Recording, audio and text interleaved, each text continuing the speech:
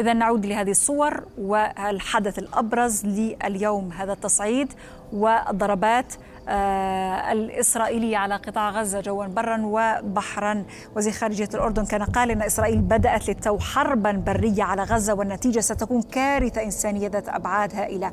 الولايات المتحدة الأمريكية في تصريحات لافتة لها تقول أنها اليوم والآن تدعم هدنة إنسانية من أجل مساعدات أو من أجل إيصال مساعدات لأهالي غزة.